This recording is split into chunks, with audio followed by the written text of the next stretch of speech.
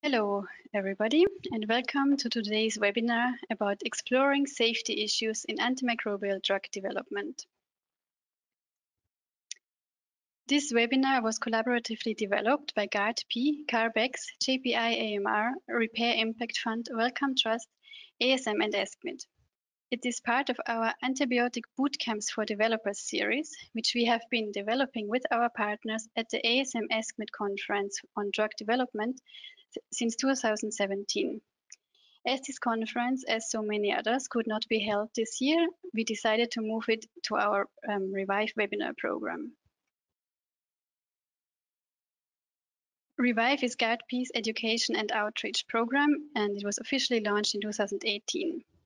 Uh, it aims to connect and support the antimicrobial uh, R&D community by facilitating learning, sharing knowledge, and connecting people.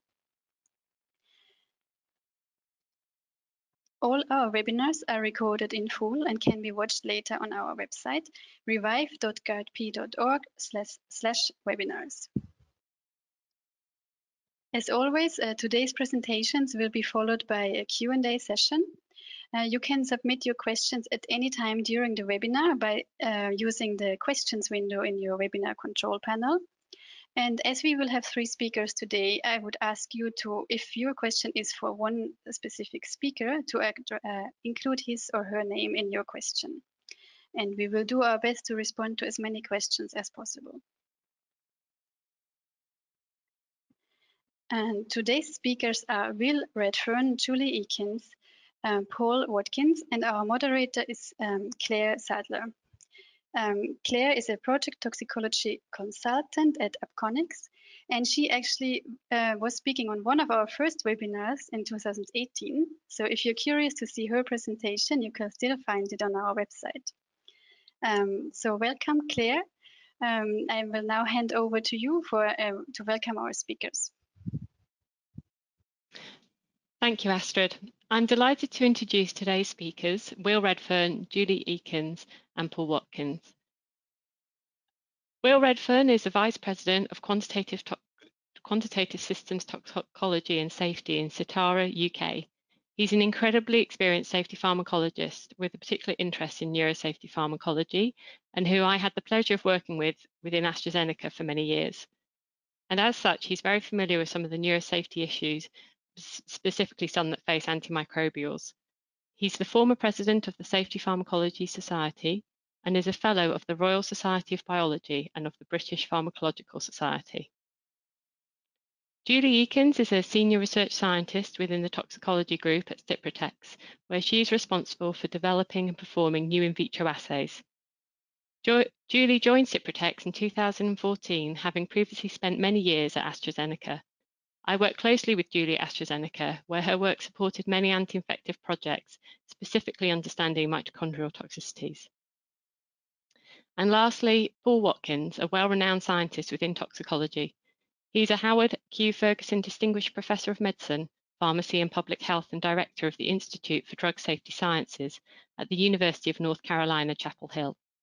He is clinically trained hepatologist with a long-standing interest in drug-induced liver injury he serves as a co-chair of the steering committee and genetics committees for the US Drug-Induced Liver Injury Network. He also chairs the Scientific Advisory Committee for the DILIsym Initiative, the public-private partnership that produces the DILIsym software that is increasingly used to assess the liver safety of new drug candidates. I'm now happy to welcome Will Redfern. Will, can you start your presentation, please? Thank you. Thanks, Claire. Hello, everybody. So I'm very pleased to be invited to this series of webinars. And I'm going to talk to you about drug-induced neurotoxicity.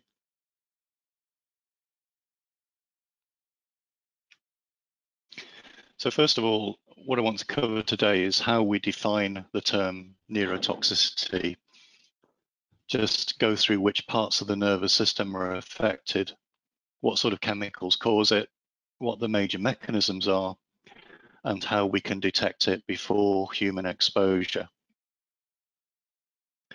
So the broad definition from the US Interagency Committee on Neurotoxicology from 30 years ago is quite a broad one. Neurotoxicity is any adverse effect on the structure or function of the central and or peripheral nervous system by a biological, chemical or physical agent.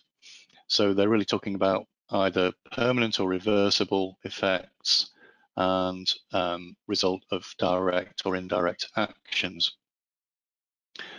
Whereas in the pharmaceutical industry, um, people tend to work with a narrower definition of neurotoxicity. And this definition would say that it occurs when exposure to naturally occurring or man-made substances causes damage to nervous, nervous tissue. In other words, irreversible effects. So this definition wouldn't include reversible pharmacological receptor-mediated effects of centrally acting drugs.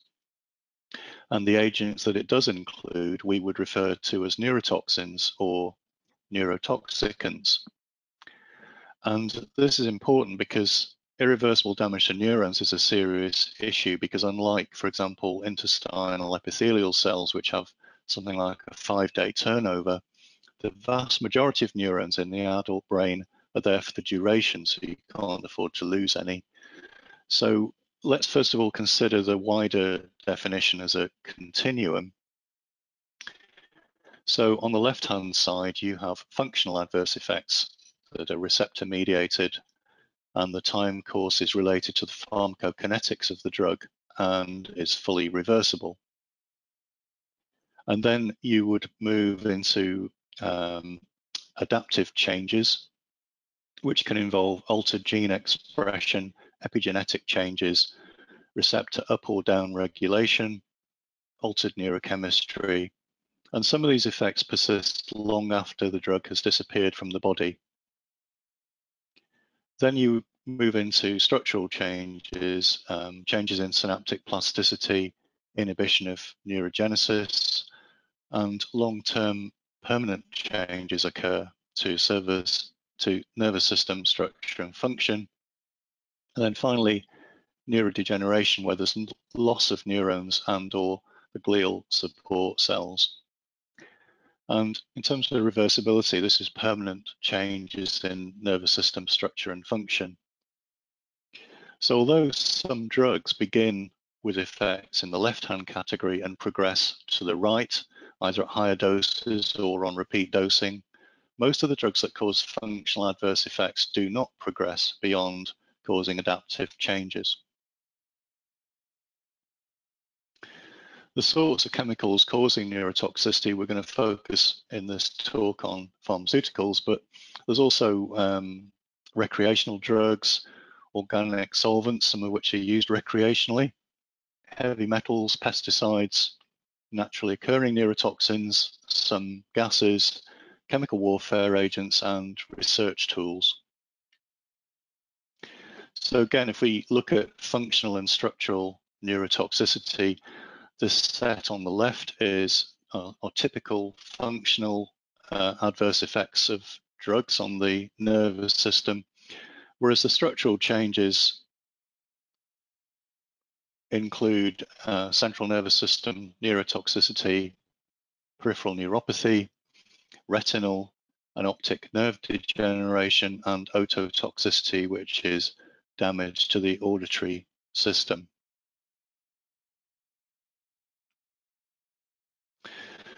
One point to make is that neurons don't exist in isolation and they're supported by glial cells, um, which are also targets for neurotoxins.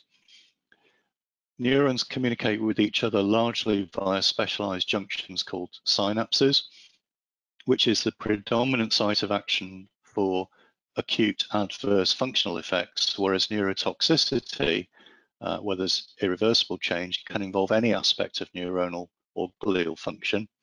Um, for example, changes to the myelin sheath, uh, inhibition of axonal transport and so on, as well as effects on synaptic neurotransmission. There are numerous mechanisms of drug-induced neurotoxicity, so there's some direct ones listed here, for example, uh, disruption of mitochondrial function. Julie's going to cover that as a specific topic, uh, not just obviously in the nervous system. Um, formation of oxygen free radicals, release of excitatory amino acids, inhibition of ion channels, um, induction of apoptosis, selective depletion of neurotransmitters, and interruption of axonal transport. And then there's a whole list of indirect causes, hypoglycemia, hypoxia, ischemia, disruption of the blood-brain barrier, hepatotoxicity, vitamin deficiency, coagulation disorders, renal failure, electrolyte disorders, and endocrine disorders. And the other thing to point out is that there are risk factors specific to the individual that can promote or exacerbate drug-induced neurotoxicity. For example, pharmacogenetic differences, uh, both in the response and in pharmacokinetics, uh, aging, history of neurological disorders, compromised brain function, and anything listed under this uh, indirect list here.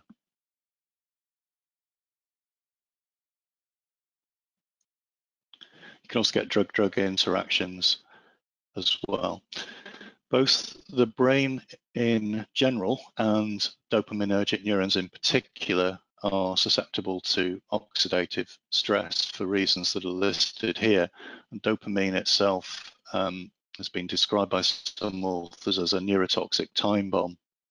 Um, so give a couple of examples of brain um, or CNS cell types that are particularly at risk of oxidative stress, just picking out this one specific mechanism. So the dopamine neurons in the substantia nigra, um, which has a role in motor function, and you can get reactive oxygen species production, uh, which damages the mitochondria and can cause DNA damage. Similarly, in the retinal pigment epithelial cells, which support the photoreceptors, um, again, you've got a high oxygen supply from the blood and the the cells are also exposed to high levels of UV light. So you've got sort of ripe conditions for oxidative stress. If we go through the different types of neurotoxicity, starting with CNS, um, I've listed all the, the, classes of drugs and uh, particular drugs involved, and you can see there's quite a wide range of pathology or functional changes uh, listed here. So in terms of CNS function, you name it, it can be affected by a neurotoxin. What I've done with the others is where there's um, an antimicrobial drug that's been implicated, I've listed these in blue. So for peripheral neuropathy, you can see quite a few antimicrobials have been implicated and also a lot of oncology agents, but also some other types of drugs as well. And again, um, I'll whiz through these slides quickly, but you can download the talk later to go through it more slowly if you want to know the list of drugs. There are different types of peripheral neuropathy. There are neuronopathies, so these are on the cell body. Um, myelinopathies, which is uh, damage to the myelin sheath of the axons, and distal axonopathies. and different drugs have actions on different parts of these neurons.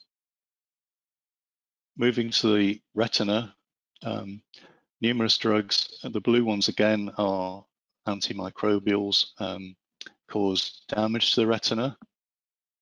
And um, there's also quite a disparate um, number of drugs that cause retinal damage. And similarly, optic nerve degeneration, there's three listed here that are, are or were antimicrobial drugs, and then quite a few others as well. So um, it's something else to watch out for. And then ototoxicity, um, these antibiotics here um, have been associated with damage to the cochlea. This is particularly important if you're using topical or you know um, drugs that are administered to the ear canal that reach the ear in quite high concentrations. Um, a quote from these authors made the point there's no current screen for ototoxicity in drug development. There's no requirement for it apart from the topicals. And uh, they felt there's an ethical obligation to identify drugs that are potentially damaging to hearing. And this shows what they do to cochlear hair cells. This is the normal arrangement on the left, and then this is after a, an ototoxin has been administered that's basically wiped them out. The other point to make is that some marketed drugs may be occult ototoxins. In other words, they go undetected until they're on the market. The approaches to detecting and assessing drug-induced neurotoxicity preclinically include in vitro, in vivo, and post-mortem histopathology. And I'll go through these uh, in, C, in series, starting with the in vitro approaches, where there's been significant progress in the last 10 years. And there are various approaches um, with both functional and morphological readouts, and these are increasingly being combined.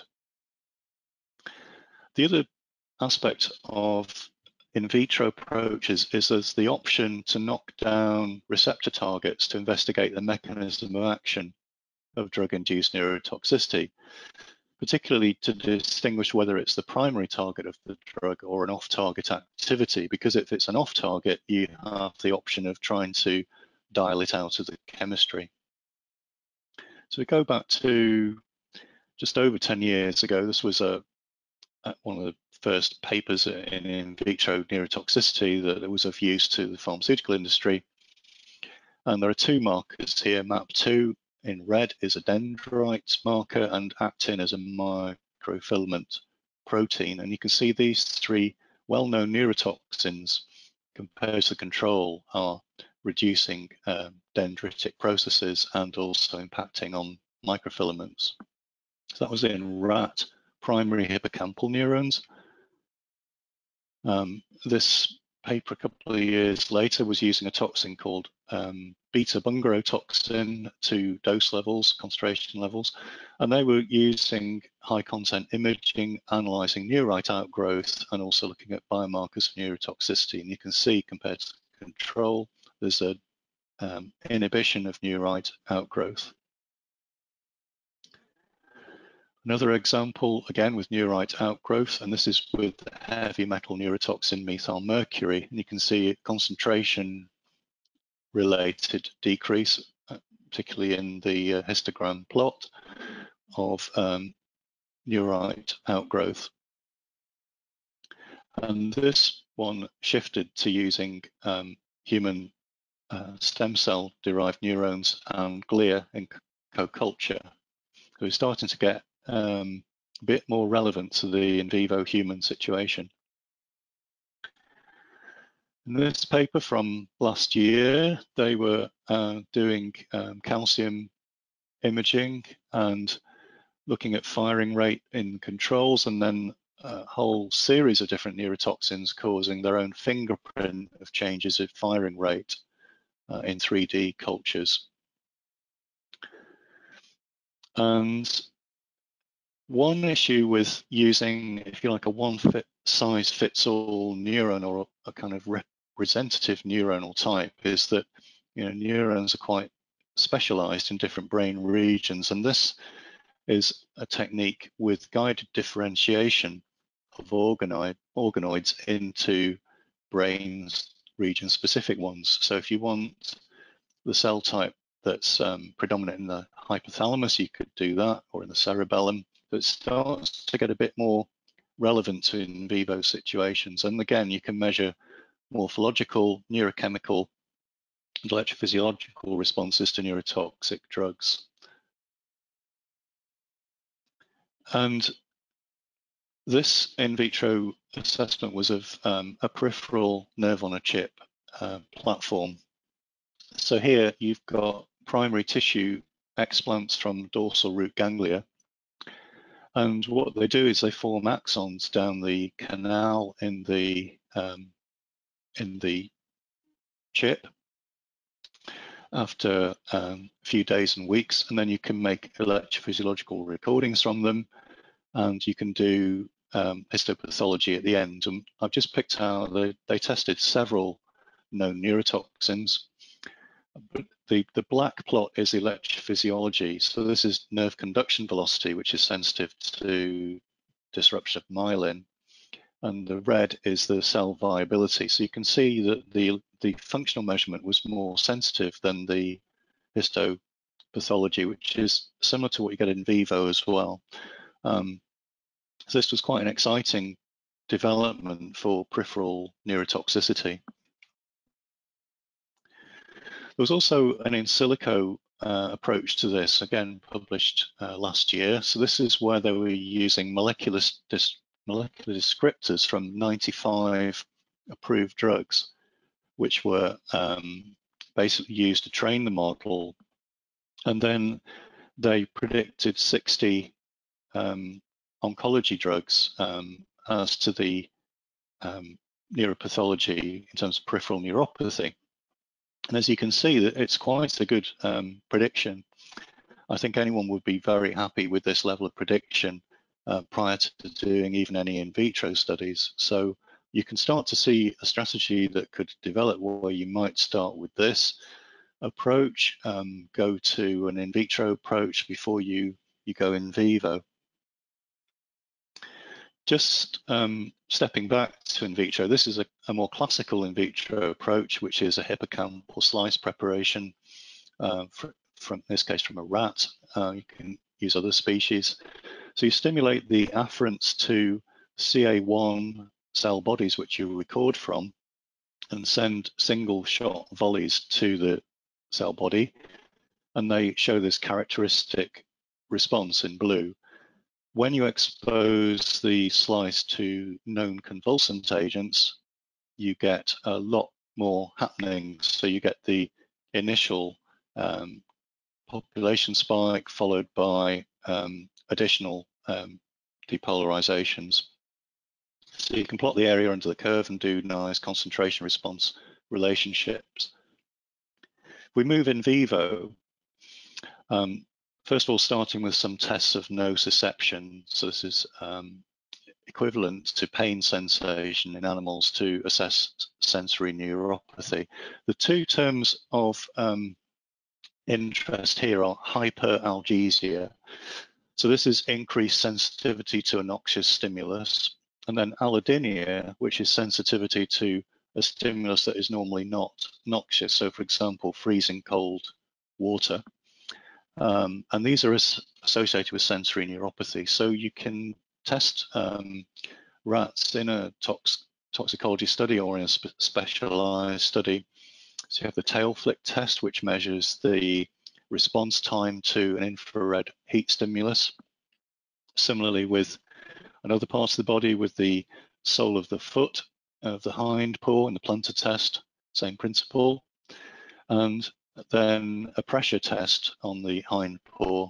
And these are very reproducible and quantitative in vivo, uh, give you a way of following the time course of the effect. Um, and um, again, can be incorporated into toxicology studies or done as a separate study.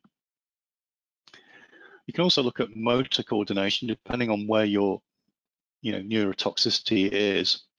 And again, these are non-invasive and relatively non-stressful. So they include beam walking. So rats don't like being in brightly lit areas and they'll walk along a beam to a black, um, dimly lit box. You can measure foot faults and uh, duration of the walk.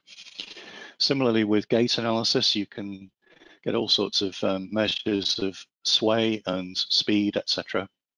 And then an accelerating rotor rod which is a challenge to for the rat to stay on a rotating rod and then when they fall off they stop the clock.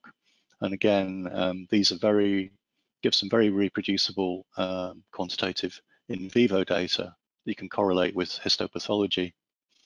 And unlike histopathology you can follow the time course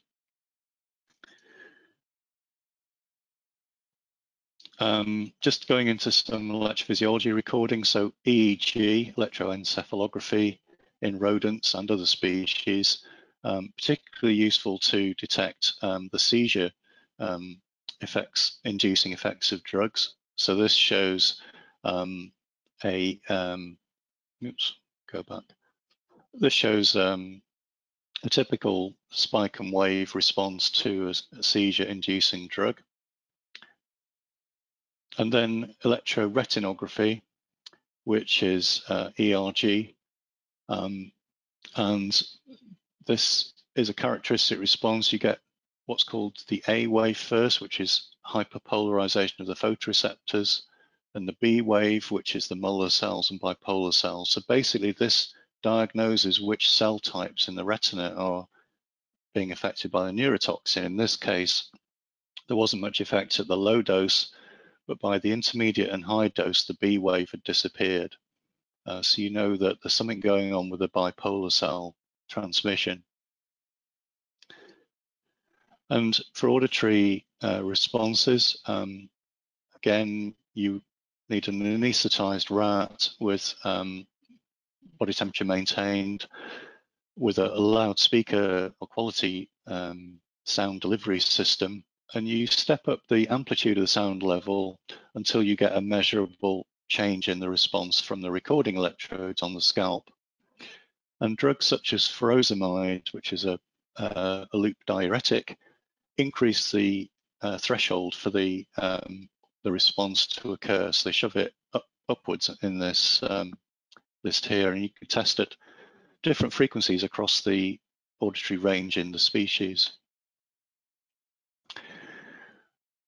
Also emerging are soluble biomarkers, which can be detected both in vitro and in vivo, and until fairly recently, they can be detected in CSF, but now the bioanalytical techniques are improving so they can actually be detected in blood. So this is an area to watch for in vivo studies. And they'll tell you about which neurons and glia are being affected. And again, you can follow the time course. Um, just near, nearly finished with the, uh, the webinar, but just um, this illustrates something quite interesting here. So this is using magnetic resonance spectroscopy, and it just shows how subtle and discrete the uh, deficit is. So this was a, a discrete in myoinositol, so it's just one part of the spectrum, and it's only in one part of the brain. Um, so this is what a normal spectrum looks like. So this part of the brain was unaffected. This one, you can see it missing, which goes to also illustrate when you're doing the in vitro work, you need to, to some extent, it's difficult to catch everything. Alternatively, you need to know what you're looking for or what to expect. And the same with the functional responses and measurements in vivo as well. Um, which probably explains why histopathology is still the gold standard, where you would um, look at uh, sections through various um, parts of the brain to look for um, damage to neurons. So it's been a quite a quick uh, whistle-stop tour. It's quite a big topic, but basically in summary, numerous drugs, chemicals and heavy metals cause adverse effects on the central and peripheral nervous system, some of them resulting in permanent damage. These effects are caused by a range of direct and indirect mechanisms, and the range of in silico, in vitro, in vivo, and post-mortem histological techniques to detect and evaluate this toxicity prior to human exposure. I'd just like to thank former colleagues in AstraZeneca and also Annette Allen, who did the ERG measurements, um, and Rob Lucas at the University of Manchester. And thank you for listening. Thank you very much, Will. That was a great talk. Next up is Julie Eakins. Thank you, Julie. You'll um, please start your presentation. Thank you very much, Claire, for the introduction. Uh, I'd also like to thank the organisers for inviting me here today. So the aim of this presentation is to describe a number of in vitro approaches to identify compounds which interfere with mitochondrial function and why we think that they're important. And obviously, uh, Will's just alluded to one of the reasons. Uh, in order to achieve this, I'll give a brief introduction, if I can, she says. There we go. Sorry about that. I will give a brief introduction to the area of mitochondrial toxicity and biology and describe some of the assays that we've been utilising. Uh, they include the simple cytotoxicity assays, and they will include some of the more complex assays using the Agilent Seahorse XFE flux analyzer. I will also introduce an assay which has been developed especially for the antimicrobial sector. And using these assays, I will demonstrate how it is possible to not only enhance the prediction of mitochondrial toxicity, but also gain an insight into possible mechanisms. And finally, I will have a quick look at drug-induced liver toxicity and the role of mitochondria in that. This is one of the most frequent sources of compound attrition in both early and late stage drug attrition. So as you may already be aware, mitochondria are responsible for a variety of cellular functions, the major function being the production of over 95% of ATP via a process known as oxidative phosphorylation or OXPHOS. And this is basically the breakdown of fuel sources such as glucose, protein and fat in the presence of oxygen to ultimately form water, carbon dioxide and ATP. And this uses a series of enzymes and complexes known as the electron transport chain or ETC. However, they're also involved in a number of other complex uh, cellular functions such as apoptosis, calcium flux homeostasis, fatty acid metabolism, etc. Now, mitochondrial dysfunction has been evidenced by the fact that numerous diseases and metabolic disorders have been associated with mutations in either mitochondrial DNA or nuclear DNA, which are code for mitochondrial proteins. And examples of these are Leigh syndrome and uh, Leber's hereditary optic neuropathy. And there's growing evidence that mitochondrial dysfunction is associated with both dementia and neurodegenerative disorders. This has been demonstrated by Cannon and et al. who described the development of a preclinical model of Parkinson's using the well-documented complex 1 inhibitor rotenome.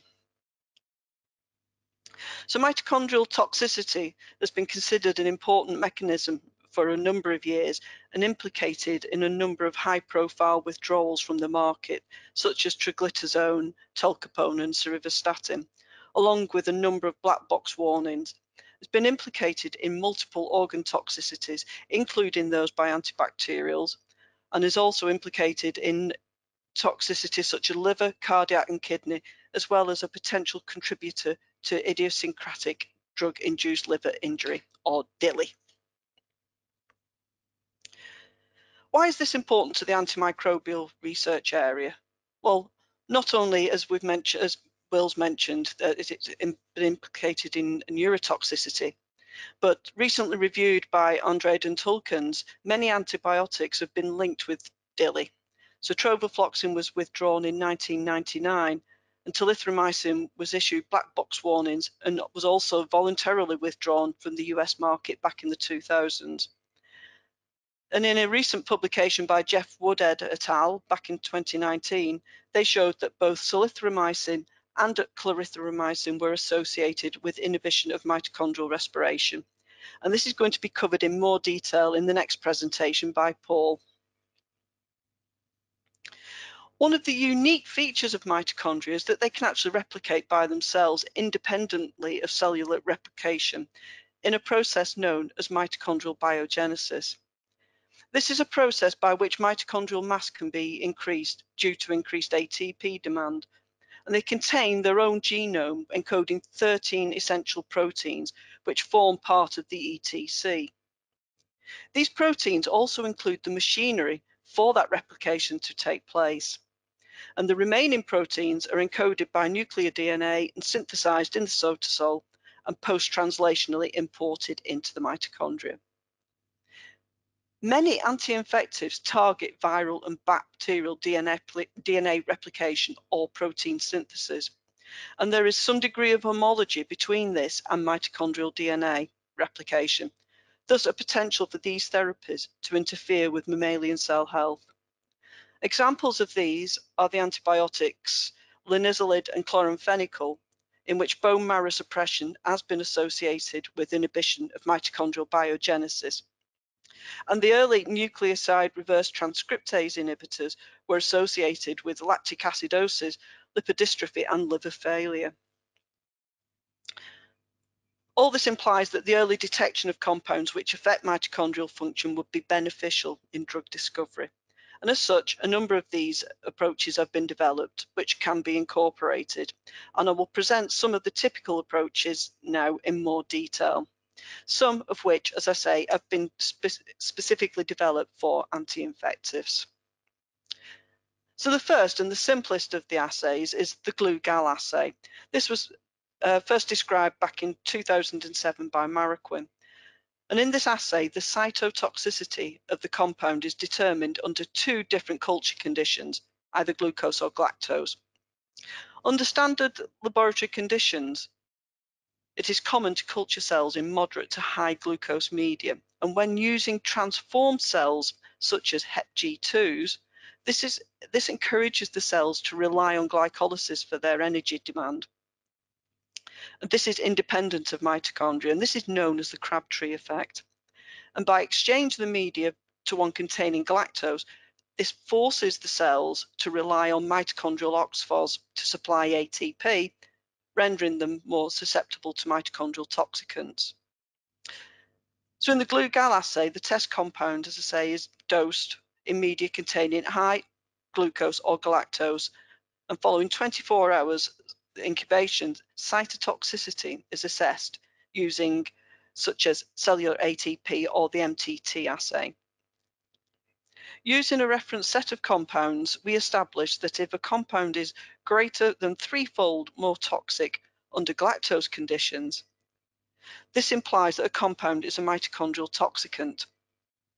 An example of which is shown here, in which the cytotoxicity of entacapone is 10 times greater than that in the, sorry, the cytotoxicity of entacapone in galactose is 10 times more toxic than that in glucose.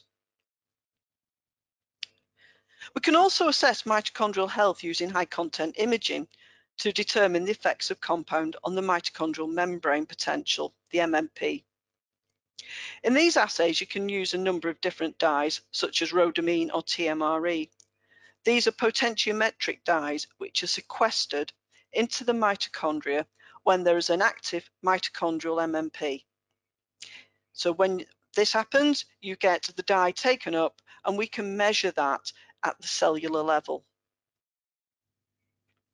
In the example shown here, HepG2 cells were dosed with either vehicle control or 5 nanomolar, rotenone for 24 hours and using high content imaging determined the cell count by using Hurst and the MMP dye rhodamine 123.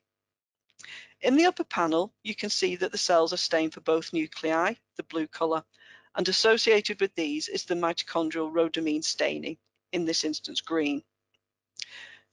With 5 nanomolar rotenone in the lower panel, there is no cell loss, as you can see. However, the associated rhodamine signal is much reduced, indicating loss of MMP. As you can also see, the, a table with some reference compounds. And using this high content imaging approach, we established that a twofold shift between MMP and cell count loss resulted in the successful identification of the majority of the compounds. The next and more complicated assay looks at the direct effects of compounds on mitochondrial function. I will give a brief introduction to the mitochondrial stress test assay. As mentioned previously, this uses the XFE 96 flux analyzer, which uses cartridges with solid state sensors to simultaneously measure oxygen and pH. This allows the measurement of oxygen consumption rate, OCAR, and extracellular acidification rate, ECAR, in real time, a determinant of OXPHOS and glycolysis respectively.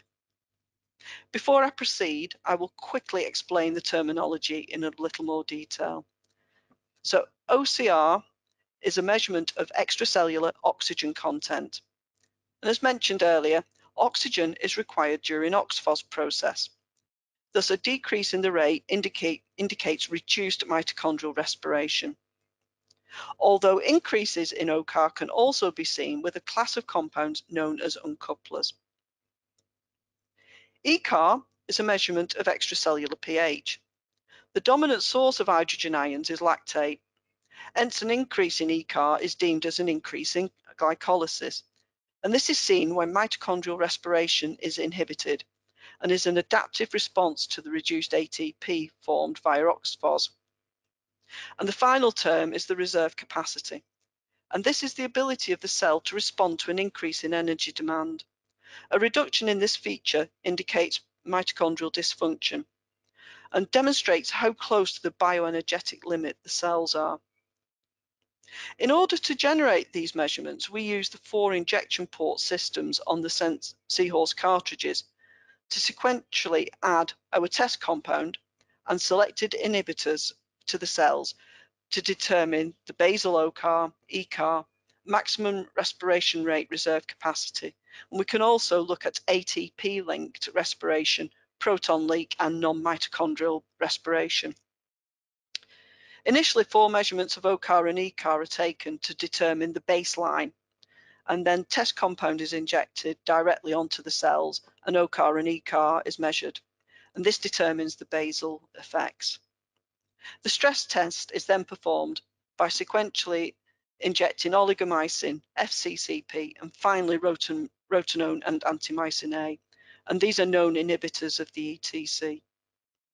Injection 2 delivers the oligomycin, a known inhibitor of ATP synthase, also known as complex 5 of the ETC, which is responsible for the phosphorylation of ADP.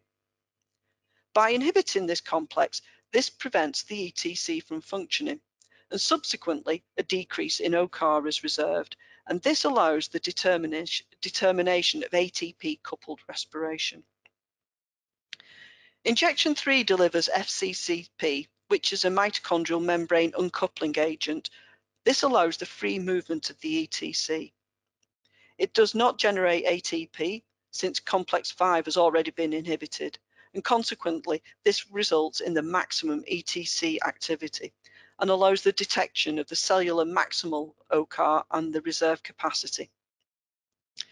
Injection 4 delivers the addition of rotenone and antimycin A, abolishing the ETC, and by blocking both complexes, this inhibits all mitochondrial oxygen consumption rate and provides the degree of non-mitochondrial respiration due to oxygen requiring enzymes which are not mitochondrial. And this allows the calculation of proton leak. So using this uh, stress test, this generates bioenergetic profiles, i.e. changes in the OCAR, reserve capacity and ECAR, and this allows the identification of potential mechanisms. Here we have some pictorial representations of how we would normally expect these bioenergetic profiles to look like for some mitochondrial toxicants. So in the upper left diagram is what we would expect an inhibitor of the ETC to look like, such as antimycin A. Inhibition of ETC will decrease both OCAR and reserve capacity with an increase in ECAR. Whilst compounds which uncouple oxidation and phosphorylation, the lower left diagram, such as 2,4-dinitrophenol, an increase in OCAR and a compensatory increase in ECAR would be expected, with no discernible effects on reserve capacity as the cells will already be at maximal respiration. For ATP synthase inhibitors, the upper right diagram, such as oligomycin, we would expect, like the ETC inhibitor, a decrease in OCAR with the concomitant increase in ECAR. However, we would not expect any effects on reserve capacity as this feature is independent of ATP synthase activity. And with general cytotoxic, cytotoxic compounds such as verapamil, we would expect a decrease in all three features. Using these blueprints, we were able to assign unknown compounds with potential mechanisms of action. And in 2016, we published our findings in which used a reference set of over 70 compounds. All compounds were tested to the limit of solubility and covering a range of mechanisms, although as you can see, they were predominantly ETC inhibitors and uncouplers. We analysed the bioenergetic profiles of the complete compound set using an unbiased approach. And whilst not definitive, you can see there is some concordance between the actual and predicted mechanisms. However, we did also detect a few uh, false positive compounds. And as the compounds have been tested to maximum solubility, we looked at ways of trying to improve sensitivity and specificity. So therefore, for both the glue-gal and the seahorse assays, we looked at the effect of normalizing the data to human plasma concentration at Cmax. In order to achieve this, we took 59 drugs and chemicals, all with known human Cmax exposure data. This was 27 known positive compounds covering different mechanisms and 32 negatives, either with toxicity associated but no known mitochondrial component or no known toxic liability at all. And when we normalize the data to 100 times Cmax for the seahorse, or with the combination of the threefold shift I described earlier for the glue-gal assay, as well as the 100 times Cmax, both of these assays showed no false positive compounds and as such gave 100% specificity. The seahorse assay correctly identified 21 of the known positive mitochondrial toxicants, and the glue-gal, however, demonstrated a lower sensitivity at 41%. But by combining the outcome from both assays, the sensitivity came to over 81%, and the accuracy of this approach increased to over 91%. Following on from the seahorse assay, we have the permeabilized cell ETC complex assay, again using the XFE96 flux analyzer. The aim of this is to gain a further understanding of the mechanism of toxicity for ETC inhibitors. The assays performed in a single well involves, as suggested, the permeabilization of the cells, in this case HepG2 cells, and looks at the recovery of oxygen consumption inhibition. The cells are initially assessed in the presence of pyruvate and malate, which are the uh, substrates for complex 1, and OCAR is determined. If in the presence of the compound OCAR is inhibited, this indicates an inhibitor of either complex 1, 3 or 4. No inhibition of OCAR, however, still remains the potential to be a complex 2 inhibitor. Rotenone is then added to block complex 1 and any reverse electron transport, and succinate, the substrate for complex 2. Now, if OCAR recovers to vehicle, this shows that complex 1 was inhibited. If no recovery is seen, this suggests this is either complex 3 or 4. If inhibition is seen, which was not present before the addition of succinate, and this identifies complex 2 inhibitors. Finally, if in the presence of the ascorbate and TMPD, with antimycin to block complex 3, if recovery is seen, this indicates complex 3 inhibition, with continued OCAR inhibition indicating complex 4. And again, we have some example data generated using compounds with clearly defined mechanisms of inhibition. In panel A, the complex 1 inhibitor rotenone inhibit, inhibits pyruvate respiration, but as expected, recovery of OCAR was seen with the complex 2 substrate succinate. Panel B shows the effect of thioflutamide, an inhibitor of complex 2, in which we see only inhibition of succinate, succinate respiration. This is an important aspect as it allows differentiation of the complex signals. And recovery is observed with ascorbate addition. Panel C shows the response to antimycin A, the complex 3 inhibitor. In this example, we see inhibition in the presence of both pyruvate and succinate substrates and show recovery with ascorbate. Panel D is sodium azide, the complex 4 inhibitor, in which we see inhibition of all three substrates, i.e. no recovery. And finally, we have the negative control betaine, in which no inhibition was seen.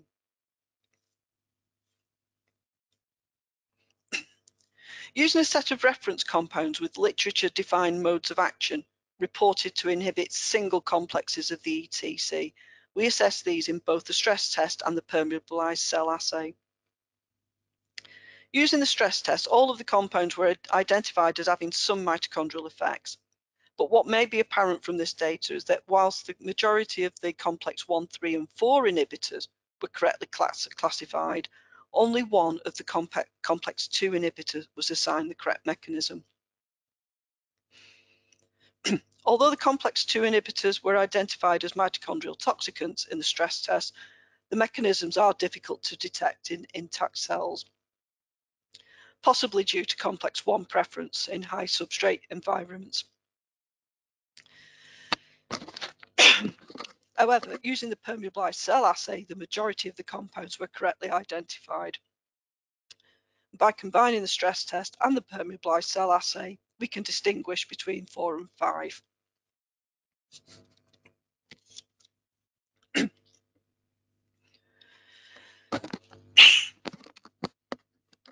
Using a set of reference compounds with literature-defined modes of action reported, oh, sorry, we've recently assessed a further reference set of compounds uh, consisting of 52 drugs, which we tested up to 100 times total plasma Cmax, 23 positive mitochondrial toxicants, and we had 29 negatives, of which only four of those had no reported organ toxicity. This compound set included the antibiotics nitrofurantoin, known, known hepatotoxin, and streptomycin, with which we had no known organ toxicity associated, and these have been highlighted in the box. Sorry, they're very small to see. As you can see here, once again, neither the glugal nor the stress test identified false positives, confirming the findings of our earlier publication. Although this is a different set of compounds, once again, the stress test gave the highest sensitivity as previous. Uh, the MMP appears to be the least specific with seven false positives. However, this data set included a number of cytotoxic compounds, and it's possible that we may be detecting cells undergoing apoptosis or indirect mitochondrial responses. As I say, I've highlighted the two antimicrobials, and using this approach, we have identified nitrofurantoin as a mitochondrial toxicant. These assays that I've already described will show direct effects on mitochondrial function and I've shown a number of approaches. However, they are short duration from less than one hour for the seahorse assay to 24 hours for the glugal and MMP assay. However, as I mentioned earlier, antimicrobials have the potential to interfere with mitochondrial replication, which occurs over several days. As such, the mitochondrial biogenesis assay has been as a prolonged exposure of one week with a repeat dosing on day four. This allows a minimum of two to three cell cycles. So although mitochondria can replicate independently, this does ensure mitochondrial replication. In this assay, we again use eye content imaging technology. We measure nuclei for cell count.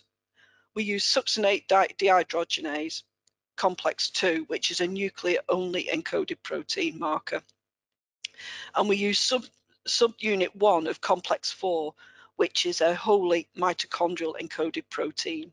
And we compare the two proteins and use cell count to determine cell loss. As can be seen from this table, there are a number of antimicrobials known to inhibit mitochondrial biogenesis, and the mechanisms are diverse, many targeting protein synthesis, such as linezolid, or DNA replication, such as the NRTIs. Although predominantly antimicrobials are associated with this toxicity, some anti-cancer agents such as doxorubicin has also been shown to interfere with DNA replication by uh, mitochondrial DNA mutations. As you can see in this image, this shows the effect of dosing Hep G2 cells for one week with 100 micromolar chloramphenicol. The box to the left shows the Hirsch staining, demonstrating there is very little cell loss. However, the panel directly next to this shows the staining for the subunit 1 COX-1 protein, and as can be clearly seen, there is no visible staining here, although there is still plenty of SDH staining evidence in the next panel.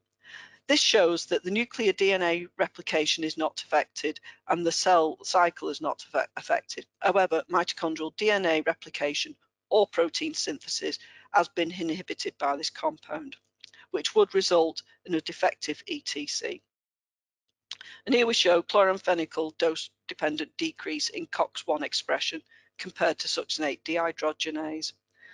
In the table below, there are a number of other compounds that we have looked at with the different targets, covering the large bacterial 50S ribosomal down to the 30S ribosomal subunit, all of which was shown positive in this assay. As mentioned earlier, drug-induced, uh, sorry, as mentioned earlier, mitochondrial toxicity has been implicated in a number of drug withdrawals. DILI is the most common cause of preclinical and clinical and post-marketing attrition. Based on this, we assessed a number of known hepatotoxic DILI compounds and non-DILI compounds, again using the GluGal, MMP, and the mitochondrial stress test. The boxes highlighted in red are compounds which resulted in a positive signal in any of the assays. The boxes in yellow show the sensitivity and specificity for each assay. And once again, as shown previously, the GluGal and stress test identified no, no false positive compounds. The stress test alone identified that 39% of the DILI compounds had a mitochondrial liability. And when we combined both the GluGal and the Seahorse assays, as we'd seen previously, this increased to 42%. Uh, this was because one compound, ritonavir, was identified in the GluGal but not the Seahorse assay. This data suggests that mitochondrial toxicity is involved in over 40% of DILI compounds. And this is supported in the recent Pfizer paper in which Rana published similar findings. Where our data set and that of the Rana publication match, we saw that 19 of the DILI compounds and 8 of the non-DILI compounds had the same mitochondrial call. And finally, I would like to summarise the findings I've presented here today. Early discovery screening for mitochondrial toxicants would be beneficial and could be for, performed using a number of different in vitro approaches. Both the MMP and the GluGal assays are amenable to high throughput 384 well format, unlike the XF flux analyzer based assays. And the GluGal and the flux analyzer ISA, uh, sorry, the GluGal and the Seahorse both have shown high specificity and sensitivity. The stress test does show the highest sensitivity towards mitochondrial toxicants and using a combination of both the stress test and the permeabilized cell assays can provide insights into possible modes of action. The stress test can indicate if a compound is a mitochondrial toxicant and can also indicate potential mechanism which can then be confirmed by the permeabilized cell assay, which can be used to determine ETC inhibition and associated complex inhibition. The mitochondrial biogenesis assay has been developed to assess the potential of antimicrobials specifically targeting bacterial and viral replication. The mechanism of action information could be useful, especially during early drug discovery, aiding chemical selection, especially when off-target uh, is implicated. And we have shown that DILI prediction using mitochondrial toxicity as a single mechanism with 100% specificity and 42% sensitivity when combining the GluGal and stress test, illustrating the importance of mitochondrial liabilities in DILI. Hopefully, we've demonstrated that this in vitro toolbox approach is valuable in predicting mitochondrial toxicity potential and mitigating this risk in an organ toxicity. And although these are generic assays, I hope I've shown also that these are very useful for the antimicrobial sector. And finally, I'd like to say thank you. I couldn't have generated all this work on my own. I've had help and support by Paul, Chris, Andrea, Zakia and Lawrence. Thank you very much for your time. Thank you very much, Julie, and for soldiering through with a tickly cough. Much appreciated. Um, so now we move on to um, Paul Watkins. Um, please start your presentation. Thank you. Yes, hi. Well, glad to be part of this great uh, presentation.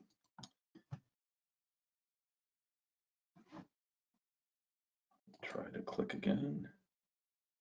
Okay.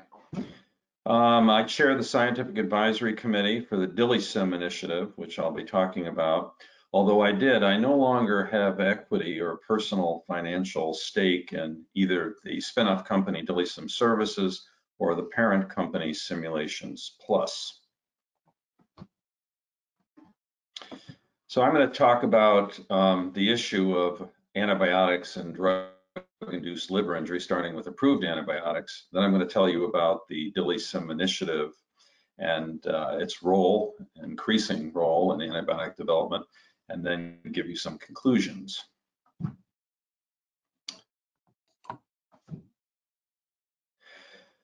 There are a number of registries worldwide that find patients who've had clinically important liver reactions to any drug.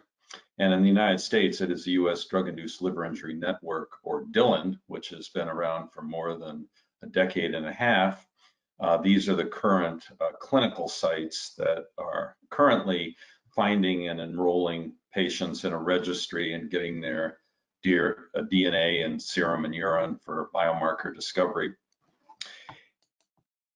And in the DILIN network, Okay. Um, this is a publication that came out a few years back. There are now about twice as many cases, but the message is the same, that antimicrobials are by far the therapeutic class that is most implicated in causing clinically important drug-induced liver injury. You can see out of the 900 cases, uh, over 400 are actually due to antimicrobials. And um, the reason this is true is probably multifactorial. Obviously, the denominator of exposure to antimicrobials is obviously very great. So even a small risk can lead to uh, cases, uh, you know, being seen. Also, of course, there are few drugs that are given in gram, multi-gram quantities, and we know uh, dose is important even for the more rare, what are called idiosyncratic reactions. And then other people point to things like altering the gut microbiome as possibly uh, uh, being a risk factor for DILI. But regardless, uh, it, it is far and away the major class of uh, drugs that cause drug-induced liver injury. And that's also the case in the European and the Spanish, South American, and uh, um, uh, drug-induced liver injury network.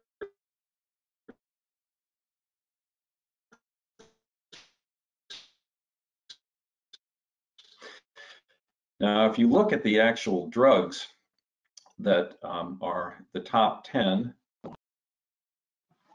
yeah, you can see that of the top 10 drugs implicated as causes of drug-induced liver injury, the top nine are actually all antibiotics, with amoxicillin clavulanate, uh, augmentin being number one, uh, presumably because of the very large denominator uh, of exposure to this generic and inexpensive uh, drug.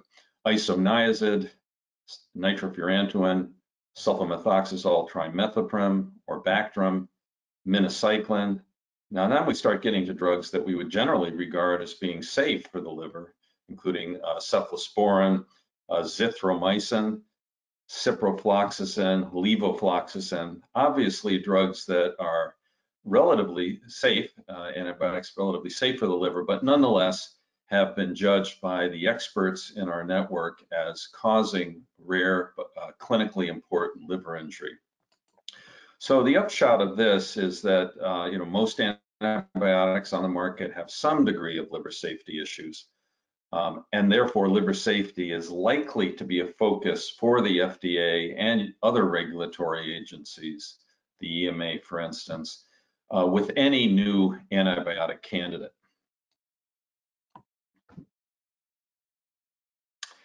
So now I'm going to move on to the DILIsym initiative and its role in antibiotic development.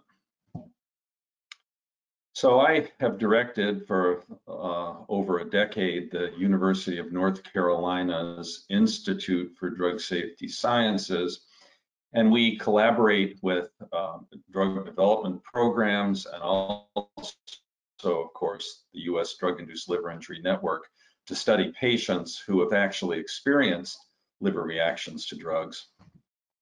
And then we have a variety of in vitro cellular systems to uh, begin to look at mechanisms and also some mouse models. But what I'm here to talk about today is the DILIsym initiative which is now uh, entering its second decade of existence. This is a public-private partnership that actually was initiated uh, by the Food and Drug Administration with a grant from the FDA that has been uh, traditionally very supportive of this initiative, including supporting uh, modelers embedded in the um, in the group doing this modeling through what they call an AREES fellowship. And these are some of the, the drugs, or some of the companies currently supporting this initiative. Over the last decade, uh, 17 of the top 20 pharmaceutical companies have provided data and financial support to keep this uh, initiative going. And this develops what's called a quantitative systems toxicology model for drug-induced liver injury. And the definition of quantitative systems toxicology, or a definition, is the use of differential equations to recapitulate relevant pathways whereby drugs and other chemicals can cause stress and death to cells, tissues, and organs. So what has been done over the last decade uh, with our partners um, is to build mechanistic modules using differential equations for various um, pathways and processes in the liver relevant to drug-induced liver injury. And then in the process of doing that, it becomes clear where data gaps exist or where um, the literature is, is contradictory uh, and so it really guides the research agenda. And the companies also then supported performing experiments to fill in the knowledge gaps.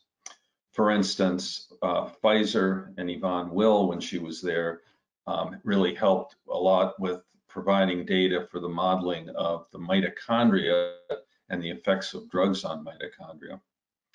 Then second, the modules are integrated with the outcome of hepatocyte death and release and clearance of traditional, but also now more novel serum biomarkers. And then in the model, the parameters are varied to create uh, simulated populations. That is to create interpatient heterogeneity that exists due to genetic variation and also non-genetic factors uh, such as disease or drug-drug interactions. And then finally, the model was refined through incorporating data obtained from successive exemplar drugs. Some of the data came from publications, but a lot of it came from the partners in the initiative, their own experience with drugs that had discordant preclinical uh, safety testing and clinical uh, results.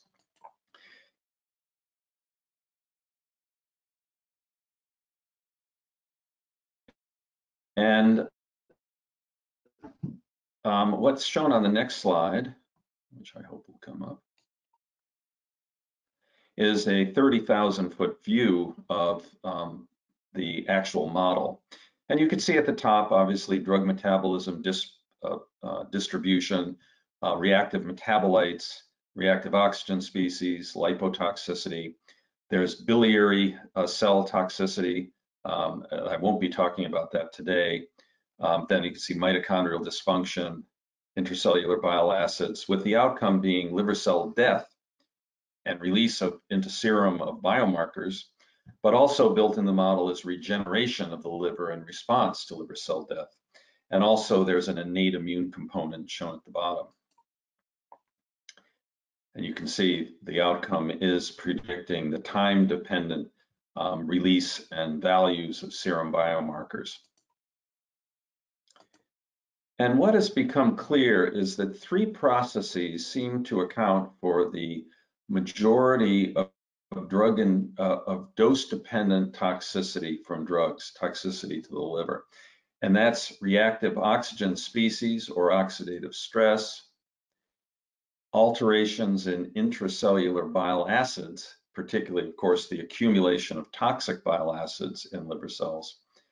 And then um, mitochondrial dysfunction or toxicity, which we just heard about from Julie.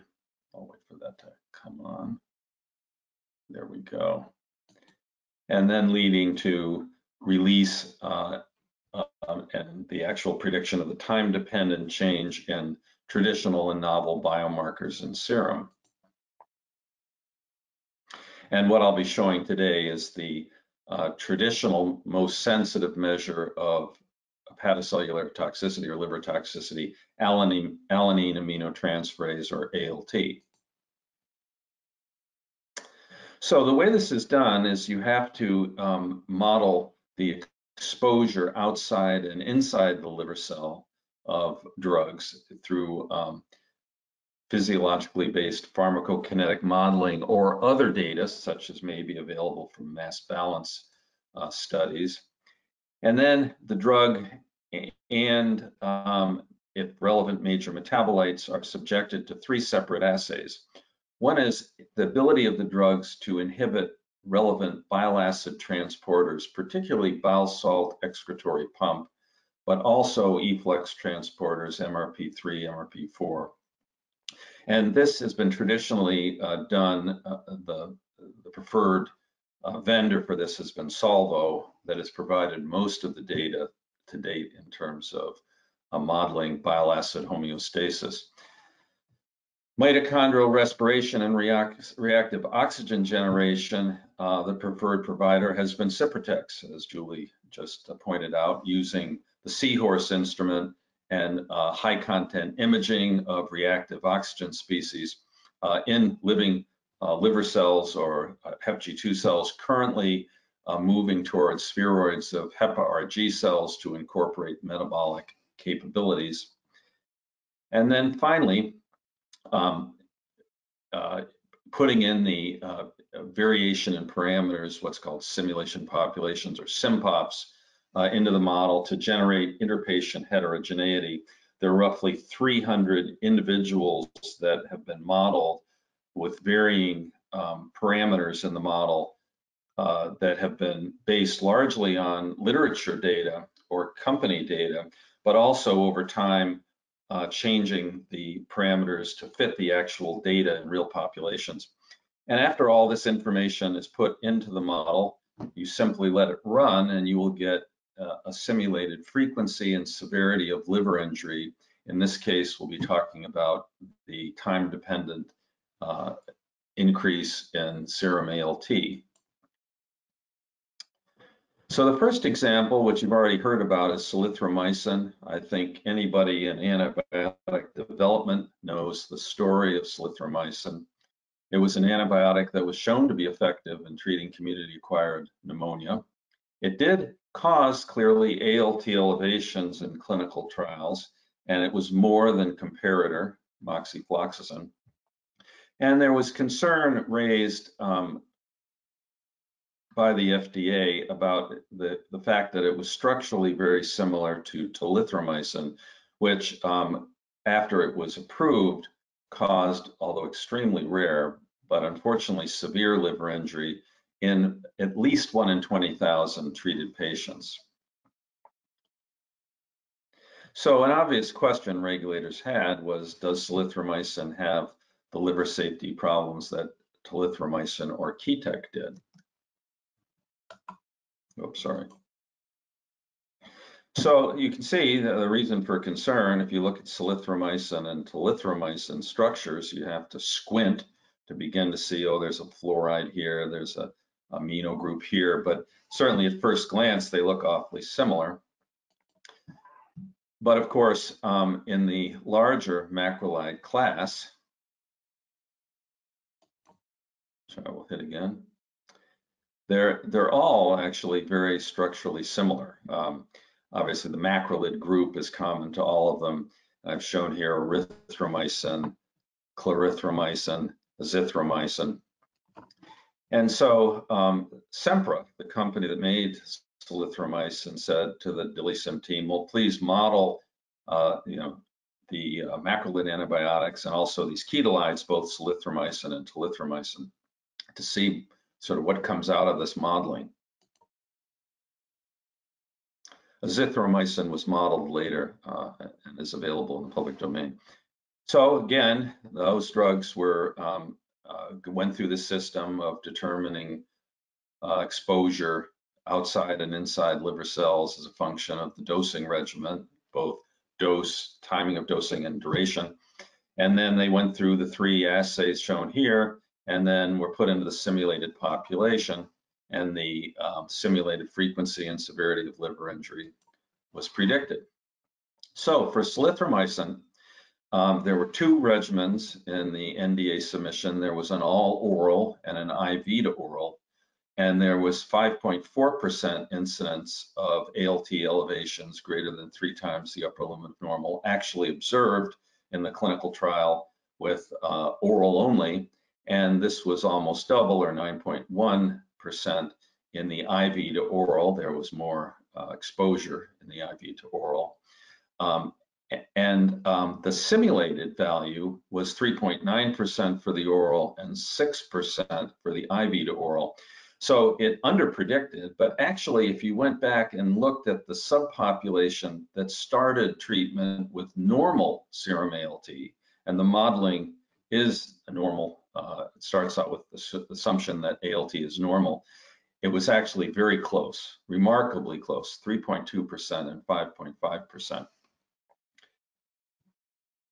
And I might say this is true prediction. A lot of times modelers will say that the model predicted, and what they really mean is that they varied the parameters in the model to fit the data. This is not fitting the data. This is true prediction based on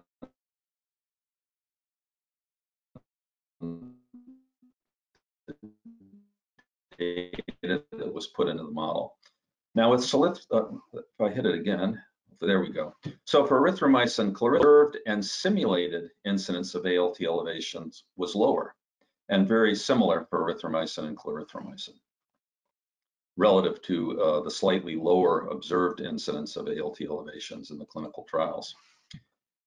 And then interestingly, with telithromycin, the um, predicted none of the 300 patients would have experienced, the simulated patients would have had experience in ALT greater than three times the upper limit of normal. Um, they did predict lower levels of elevations, however. And interestingly, Keytech itself had a vanishingly small incidence of ALT elevations greater than three times the upper limit of normal. Um, so this, the DILIsym modeling did not predict uh, the uh, rare idiosyncratic toxicity of telithromycin. So in that sense, the modeling wasn't, wasn't helpful to Sempra. On the other hand, uh, oh, just the conclusion, DILIsym did predict the incidence of elevations in serum ALT across this antibiotic class. However, um, something was helpful and was actually presented at the uh, FDA Advisory Committee. And that's once you've modeled a drug like solithromycin and the other macrolide antibiotics, you can then look at the uh, incidence and analyze the mechanism by sequentially just shutting off in the model each of the three processes, bile acid transporter inhibition, mitochondrial respiration, reactive oxygen generation, um, and actually see what it does to the, the predicted incidence and therefore infer what are the major um, processes contributing to the ALT elevations.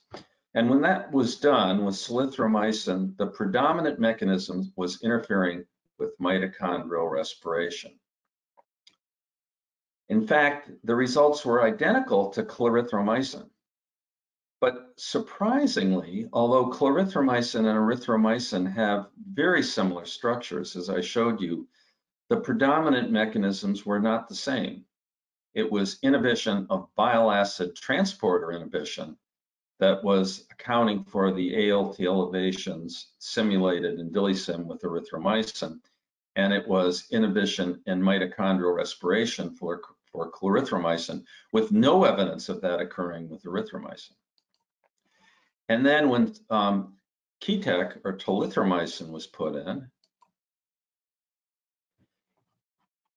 it the predominant mechanism, because there were ALT elevations that occurred, they just didn't go over three times the upper limit of normal, was inhibition of transporters that is alterations in bile acid homeostasis, with no effect on mitochondrial respiration. Somewhat remarkable that with such similar uh, structures that there would be such a difference. So this was presented um, actually by me at the FDA advisory committee saying, um, look, the effects of these drugs at the level of the hepatocyte are not similar.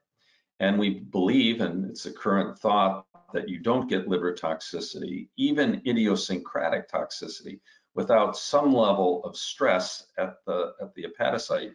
And the mechanisms of stress are entirely different between these two molecules. And as you may know, the advisory committee narrowly uh, voted to approve solithromycin, but the FDA uh, demanded a larger, much larger clinical trial, which has never been conducted. So moving on, should have moved, try again. So um, the knowledge that mitochondrial inhibition is the major mechanism with solithromycin provided an explanation for a phenomena during treatment with uh, solithromycin, which is actually seen in many instances of drug-induced liver injury, which is called adaptation. And that's because when you stress mitochondrial function, the uh, liver cells respond by creating more mitochondria, as Julie said, mitochondrial uh, replication and regeneration. And this is actually a study in mouse hepatocytes showing that as you treat with increasing doses of rotenone, you get an increase in the proteins, mitochondrial proteins. That is, you get increased mitogenesis to respond to uh, the stress. So in the case of solithromycin, uh, during treatment, there were patients who spiked ALT but were continued on treatment. And many of them had their, liver, their serum ALT fall despite continuing treatment. And that is called adaptation. The liver is adapting, in this case, very likely due to um, mitogenesis. Now, in the simulation results without considering mitogenesis, the liver enzymes continue to go up until you reach some sort of homeostasis between regeneration and cell death, which, which does occur. When uh, mitogenesis was put into the model, actually fitting the data from solithromycin, but has since been able to predict adaptation from other antibiotics and other drugs you see a, a phenomenon very similar to what was actually observed, where mitogenesis reduces um, the actual uh, ALTs over time. And that uh, turns out, knowing that uh, interference with mitochondria is the major mechanism, uh, appears to pro provide insight into patient risk factors. And this is something that the um, FDA's antimicrobial division uh, has been quite interested in. This actually isn't solithromycin, it's another drug that I don't have permission to talk about that caused very minor ALT elevations in a subset of patients, just showing plasma ALT as a function of time. But in a drug interaction study, when they treated with drug X and then just looked at a probe of metformin, they saw this very substantial spike in one of the, the patients. This is simulated data, but the data is very similar to what they saw. So they asked the DILIsym team to see if they could account for this. And sure enough, they could. Now, if patients are already on metformin, uh, and metformin itself causes very trivial ALT elevations, there is um, mitogenesis already so that the effect is much less pronounced. So this is an effect of starting metformin treatment. And this is really opened up avenue of you know thinking what other drugs uh, interfere with mitochondrial respiration and uh, might you know, have a sudden direct effect and cause ALT elevations. And actually in the solithromycin study, patients, some patients were receiving metformin and there's actually going to be a presentation at the American Society of Clinical Pharmacology and Therapeutics by Kung-Hee Yang uh, that's going to talk about uh, the modeling and, and uh, clinical uh, observations that were observed in that trial. Um, I don't have permission to talk about that. The other issue, of course, is what if mitochondrial um, mitogenesis is inhibited, as we heard from Julie, what effect would that have on uh, the incidence or susceptibility to significant ALT? And all this can be modeled. So uh, um, the predominant mechanisms underlying dose-dependent hepatotoxicity uh, can vary within a class and clearly uh, did vary uh, in model predictions in the macrolid class. Despite structural similarity, the effects of solithromycin on the liver were not predicted to be the same as telithromycin. And knowing the major mechanism that's causing DILI can identify patient risk factors. And if you want to know more about this, this is the manuscript that actually Julie also pointed to, where azithromycin modeling is also included. So the, my last example is this um, antibiotic that was in development for multi-drug resistant bacteria. Um, Dose-dependent ALT elevations were observed in a phase one clinical trial, and they came to the team and said, um, you know, what dosing regimen could we use that you would predict would not cause ALT elevations, or at least would minimize ALT elevations, because they wanted to then see whether further development of this drug would be practical. Because once you have ALT elevations, particularly ALT elevations at a greater rate than your comparator, you are then thrown into the difficult position of trying to prove a negative, prove you don't have a problem. This is what happened with solithromycin, for instance. So again, the um, data was collected, uh, what you know, the data that was available. I'm pretty sure Solvo and Cyprotex uh, got the data for this. It was put in the model to predict the incidence and severity. And I'll show you the manuscript where this uh, in a minute in case you want to know more about that. So varying the, the pharmacokinetics was obviously the issue in dosing regimens. And what is just sort of summarized here is the predicted incidence of ALT elevation in the simulated population of 300, shown in the green boxes, uh, was zero until they went to the 200 to you know two gram dose. And so the question was then the company said, well, um, you know, can we get an effective drug if we keep a dose, you know, at 1,000 milligrams or less? Uh, to my knowledge, this has not been tested clinically. Um, you know, but this is the kind of information that DILIsym is is uh, getting for antibiotics that are currently in development. And um, I can say it appears to be useful in getting venture capital, if nothing else. You know, I think it's part of the weight of evidence that would support um, that there won't be an ALT cloud of concern, you know, in development. Um, although, again, this is, you know, work in progress. So, uh, and this is the uh, the uh, manuscript that discusses this. So in conclusion, you know, DILIsym modeling, I think, is already having a significant impact on decision-making in antibiotic development. And uh, more importantly, I think it's an example how quantitative system pharmacology, QSP, and quantitative systems toxicology, QST, should revolutionize drug development. And I believe this is going to occur in the near future. So in closing, I'll just show the DILIsym team, a group picture of most of them that was taken uh, about a year ago. Brett Howell in the center as the president and Scott Seiler as the chief uh, scientific officer, very remarkable people. And it's a very remarkable uh, team. So with that, I will close and uh, allow us to go into the question and answer period. Thank you very much, Paul. That was really interesting. Um, so we'll now start the Q&A session. As a quick reminder for the audience, you can submit your questions as shown on this slide. Please include the name of the speaker you're addressing your question to, and we will do our best to respond to as many questions as possible during the time left. Julie and Will, can I ask you to put your cameras on as well, please? And Paul, to keep yours on. All right, I got back Thank on you. now. Thank you very much. So I'll start with the question I have um, we've had come in for, for Will. Um, the question is, what is the predictive value of structural neurotoxicity that we see in animals to the likelihood of it occurring in man?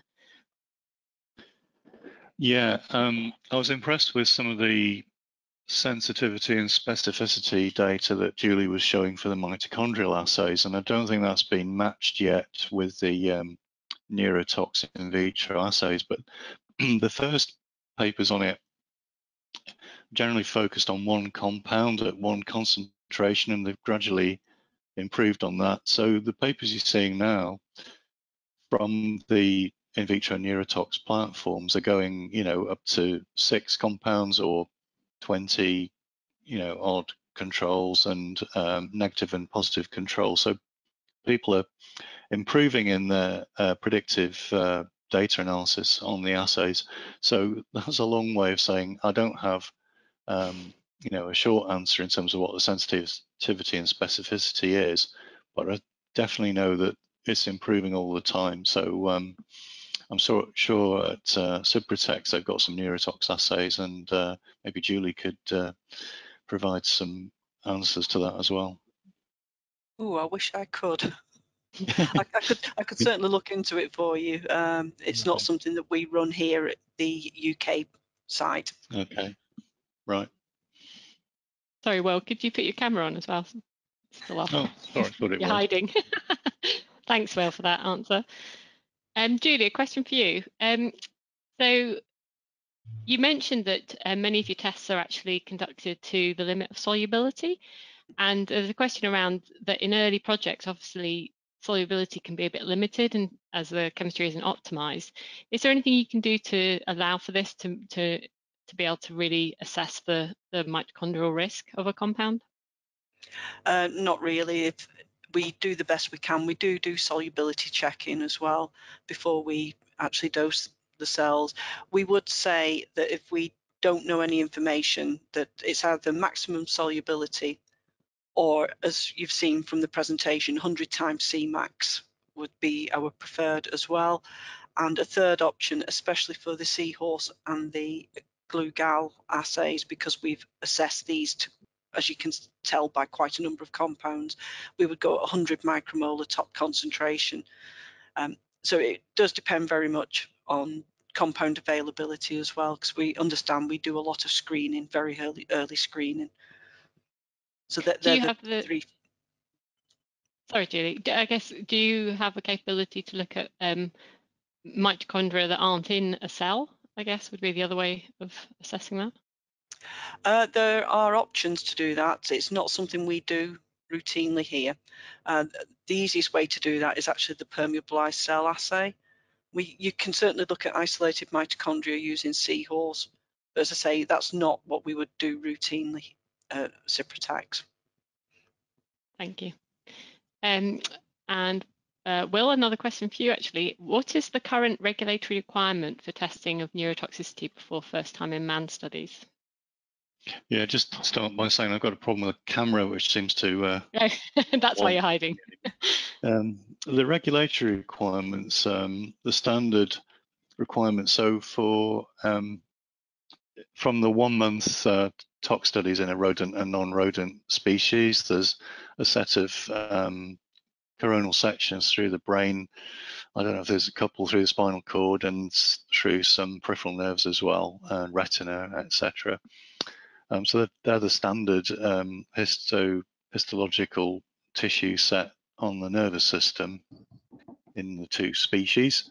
And in terms of functional measurements, um, in the ICHS 7A guidelines on safety pharmacology, um, you're basically just required to do a global assessment of um, neurobehavioral effects using either the functional observational battery or the Irwin test, which is both of which are systematic evaluations of nervous system function.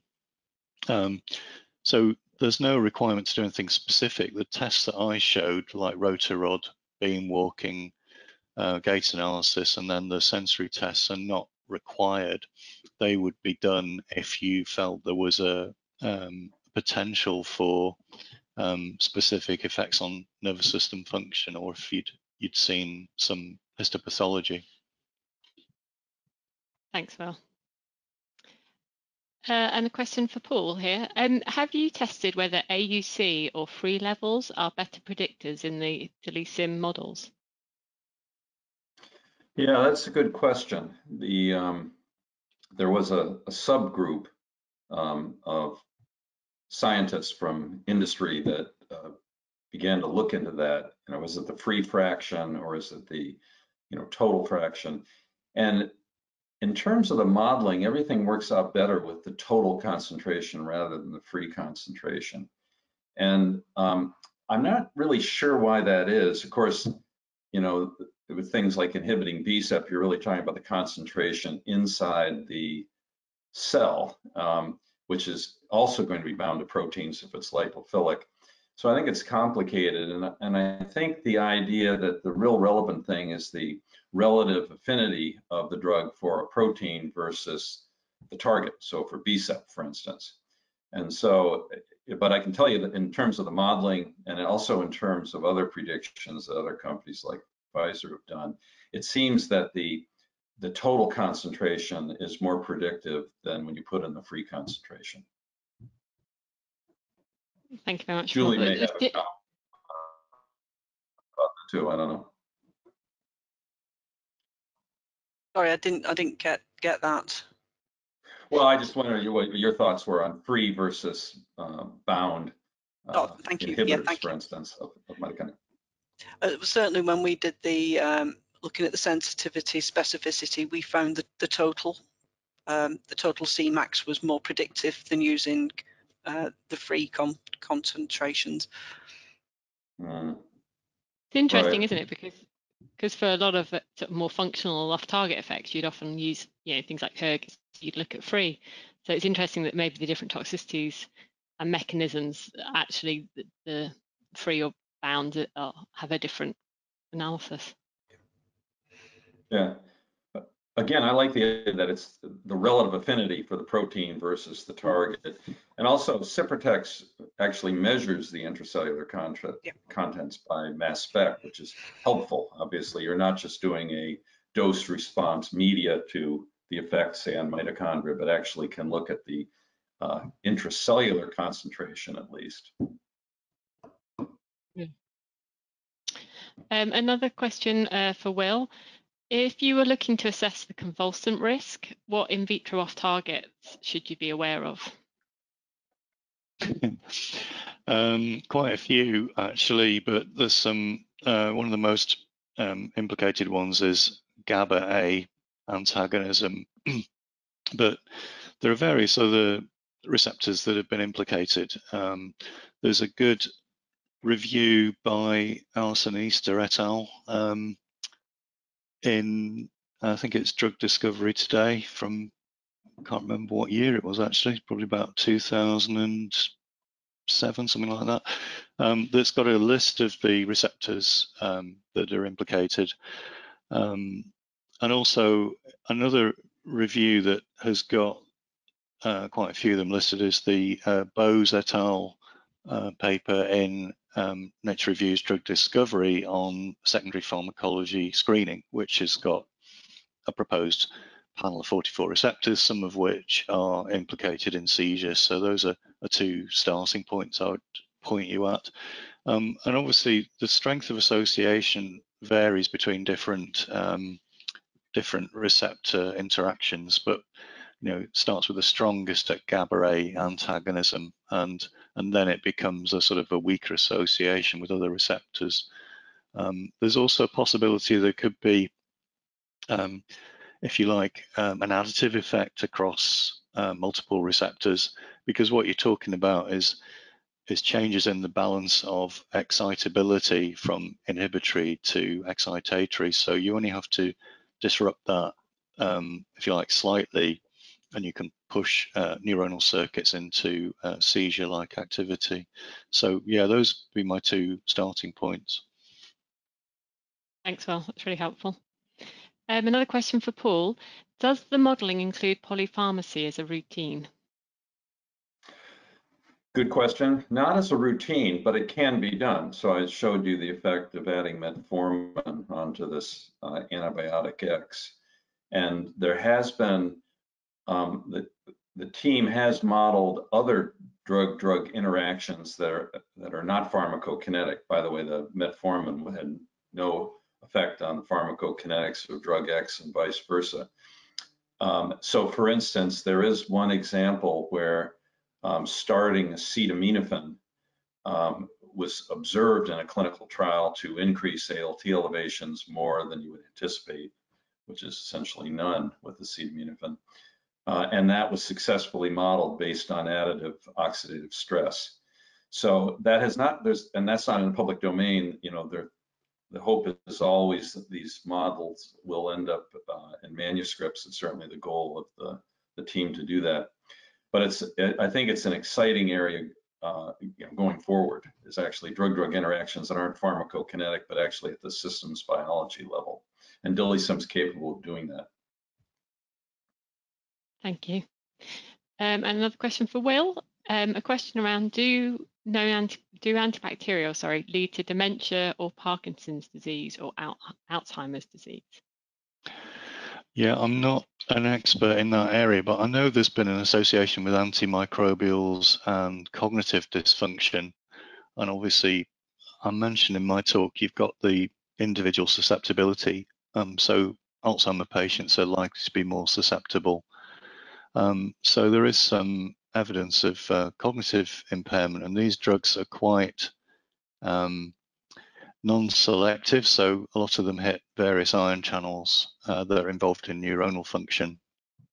Um, and there's also theories about affecting the gut microbiome as well, that that might be part of the mechanism. But yeah, the, they do all sorts of uh, all sorts of things, eh, both in the uh, CNS and elsewhere. So um, you know that's certainly on the cognitive side. I'm not aware of um, implications in Parkinson's disease, but that doesn't mean that there isn't one. It's just that I'm, I'm not up with that literature. Thank you, Will.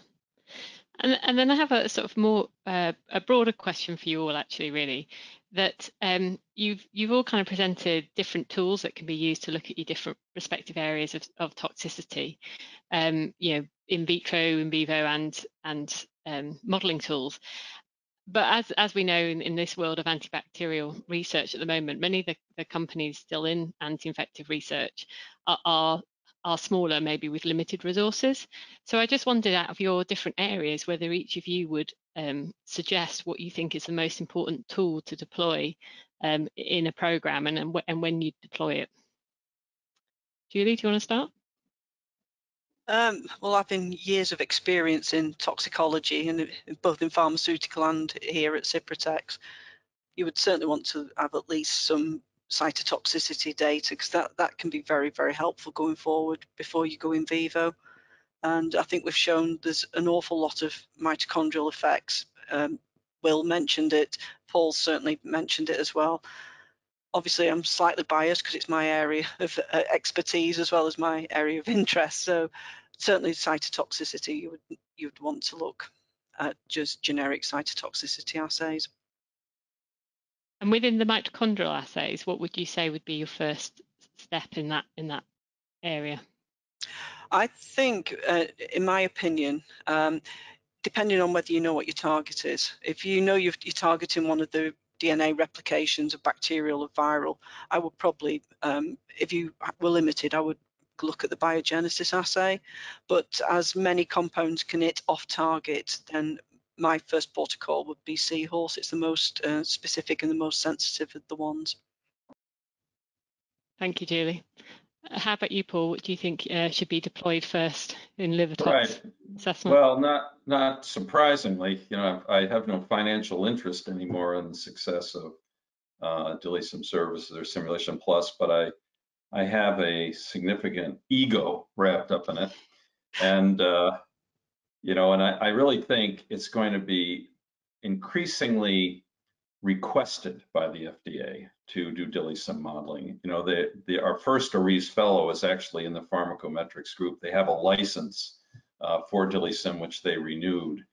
And I think the idea of checking those three properties, and uh, unless the, the answer is no, no, no, you know, going on and, and beginning this sort of quantitative systems toxicology modeling at an early stage in development will be important, uh, particularly for small companies where you've got to get uh, venture capitalists, you know, or a big company to come and do it. I think that this will become a mandatory part of the aggregate safety data at a relatively early stage. Now that the what's going to what is happening now is using simulations plus ADMET predictor to begin to use structure activity relationships to predict mitochondrial inhibition, to predict oxidative stress, to predict interference with bile acid homeostasis.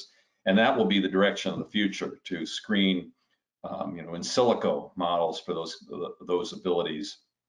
Um, but anyway, so that's my thought now. I think um, it's going to increasingly become a required thing for, particularly for antibiotics, to gather the data and depending on what you get to go forward with quantitative systems modeling, which you don't don't have to have the, the, the company do it. You can buy a license to the software and, and do it. Uh, there's academic licenses and.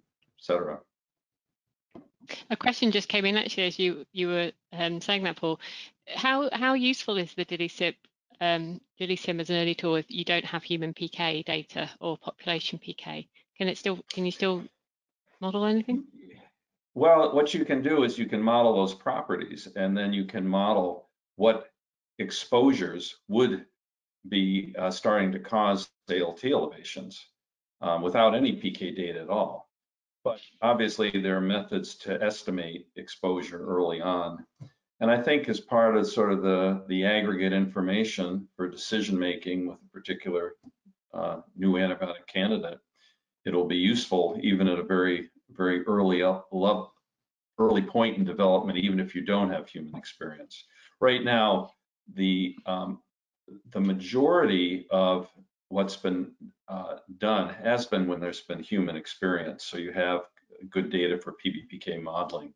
And often it's next in class where first in class had a problem. So you bro Japan as a CGRP inhibitor was predicted by DILIsym to be safe before entering the definitive clinical trials. And it turned out to be the case and approved by the FDA without even a liver safety warning.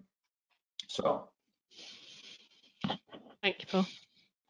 And Will, what would you say is the um, most important thing to do early in a, in a program?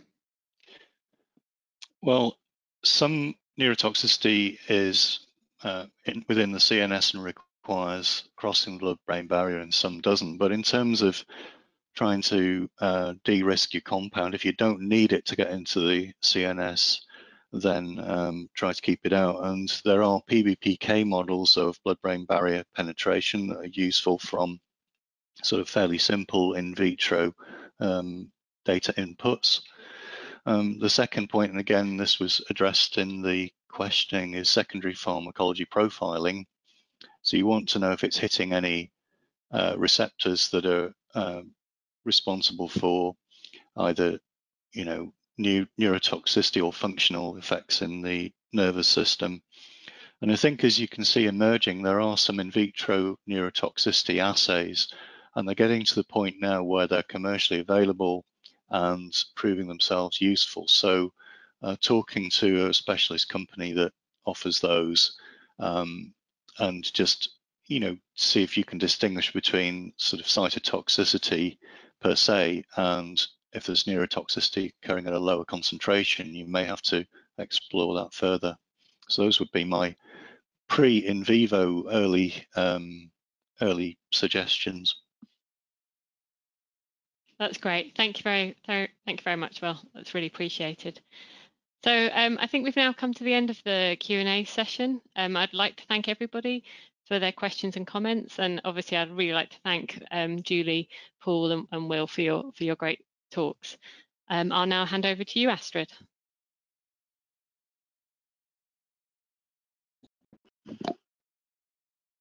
All right. Just had to get my slide up again. Um, well, thank you very much, Claire, for your continued support of our webinar series. Um, and thank you very much to our three speakers, even though we only see two, um, Will, Julie, and Paul. Um, I will now briefly, whoops, introduce, um, announce our next few webinars to our audience or to our speakers in case you're interested. So on the 21st of October, we will have a webinar about data and methods needed to de determine breakpoints for new agents. On the 27th of October, we will have a webinar about um, developing antibiotics for children. And on the 17th of November, we will have a webinar about discovery of new antibacterials using artificial intelligence. Um, the registration links for most of these webinars are already on our website, as here indicated on the slides. And uh, the missing one, the one for the 27th of October, will come in the next few days. I would also recommend to you to keep an eye on the website and for, at my emails, because in addition to these three, we will announce probably one or two more webinars in November. So it's a busy time here. Also, for those who joined the session today later, um, I want to remind you that all webinars are recorded and the recordings can be watched on our website. So also the recording of this webinar will be, will be up on the website probably next week. But also all webinars from our webinar um, recordings from our webinars in 2018 and 2019 and 2020 are still available for you. Also, as I often uh, get this question from our audience, yes, you will receive a follow-up email in the next one or two weeks usually. And this includes a link uh, for um, your own um, certificate of attendance. All right, so that's all from my side. As always, I hope uh, this was uh, interesting for everybody. Thank you to the audience for participating uh, with your questions. And I hope to see you again on our future webinars. Thank you and goodbye, everybody. Bye. Thank you. Bye. Bye. Thank you very much. Bye. Bye.